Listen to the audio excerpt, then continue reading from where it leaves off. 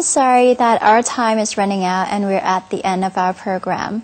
If you have any questions or comments regarding today's program, please don't hesitate to write us via email at meditationforall at hotmail.com. I hope to see you again next week. Goodbye for now. สวัสดีค่ะ